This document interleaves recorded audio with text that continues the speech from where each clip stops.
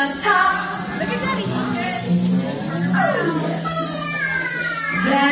turn around and turn around until it's time to stop.